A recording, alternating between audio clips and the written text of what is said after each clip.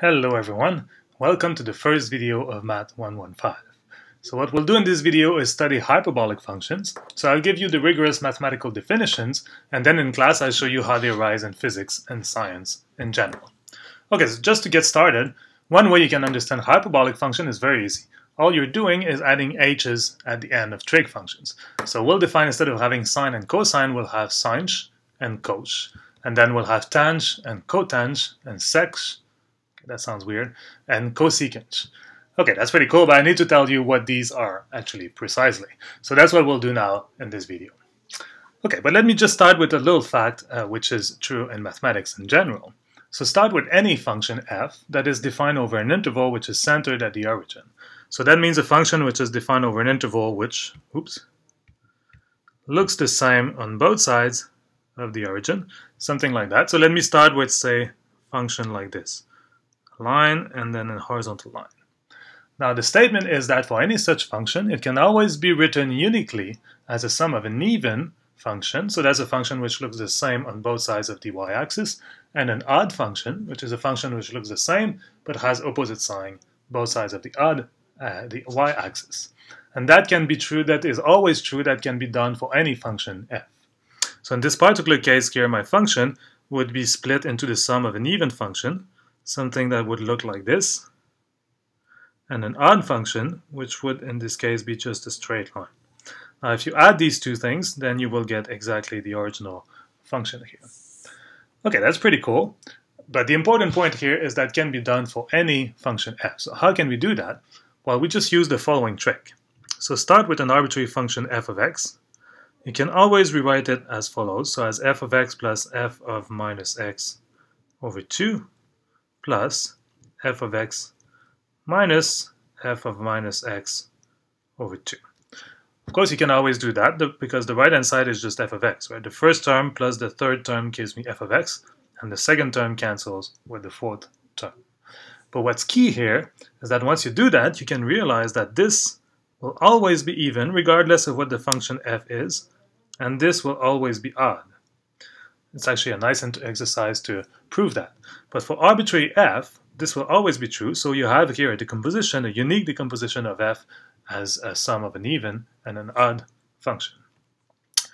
Okay, this is all very nice, but why should I care about that? And what does it have to do with hyperbolic function?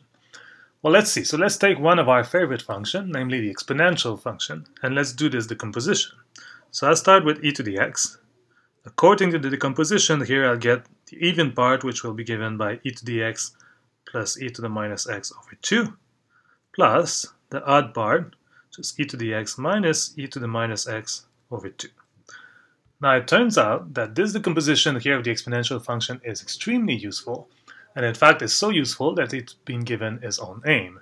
And the even part here is exactly what we call the hyperbolic cosine function, or cosh, of x, and the odd part here is what we call hyperbolic sine function, or sinh, of x.